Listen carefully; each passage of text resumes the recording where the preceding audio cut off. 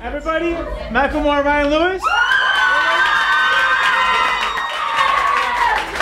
It's, it's funny when we plan to uh, bring all the different artists to the B96 Pepsi Summer Bash. And why wouldn't we bring the group with the two biggest singles out of the year? How does it feel that your first two songs off the album have gone number one?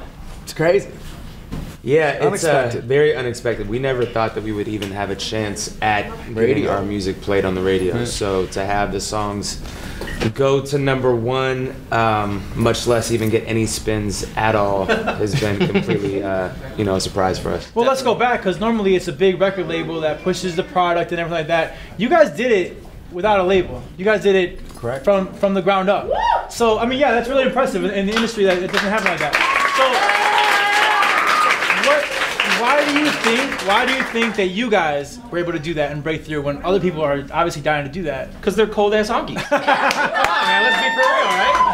That's the answer. uh, you know, there, there's many variables to it. I think that, you know, we, we had the music that started from a grassroots level. We had a core demographic, a fan base that had been riding with us prior to the singles popping off. Right. So you had that foundation, and then you had music videos that really backed up the music, Um, the, vis- the visuals, um, the thrift shop video in particular being something that went viral.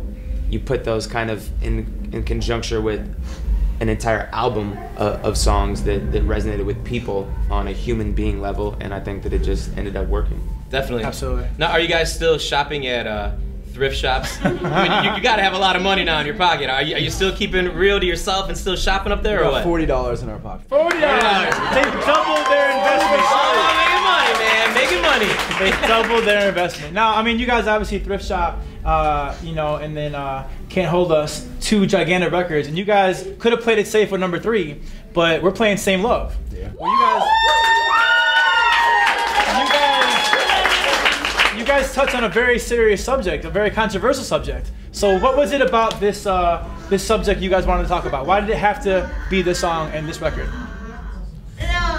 That was another record that I didn't think would ever have a chance at radio. Um, it was a, a song that, to me, is the most important out of the three. Absolutely. It's it's a it's a civil rights issue. It's something that needs to be addressed um, to the world at this Right. point. And the homophobia that's in hip hop, the the hatred and the fear that's still out there amongst the masses of people around the world.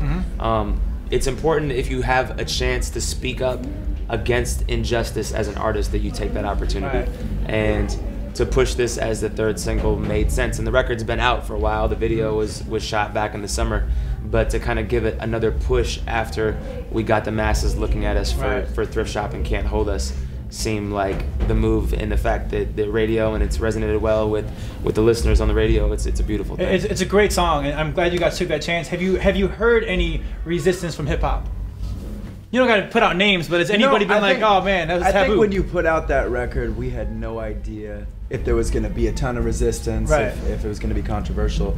And I think that in the hip hop community, it was it was surprising. Like, of course, you have a, a small crew of people that are going to hate on whatever. But Right. I think it was um, surprisingly very receptive to a variety of demographics. Yeah. Um, and we didn't know. We just kinda well, it needed to be said, and y'all said it very Definitely, well, man. by the way. And you know what? Now you guys are here in Chicago. Is there anything you guys, uh, when people talk about Chicago, that you guys need to do when you come into Chicago?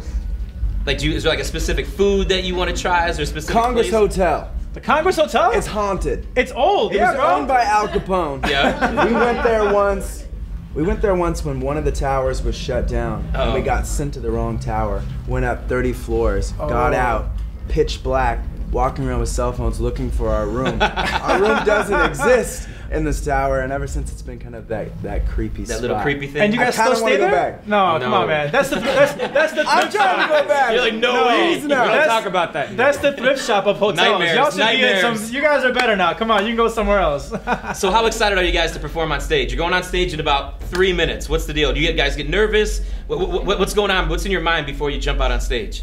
you know we eat um, we eat a lot String of cheese. we eat a String lot cheese. of food String cheese, really? That's the secret. protein. That's the choice? Ryan eats string cheese and I eat uh, walrus And The, the, the, the mammal, the, like the the, Yeah. the big wall. Okay. Yeah. Like a tusk? Okay. yeah, no, you, No, you leave the just, tusk You just eat the You do? you just eat the fat from the walrus, and it's like a fire is burning in your stomach.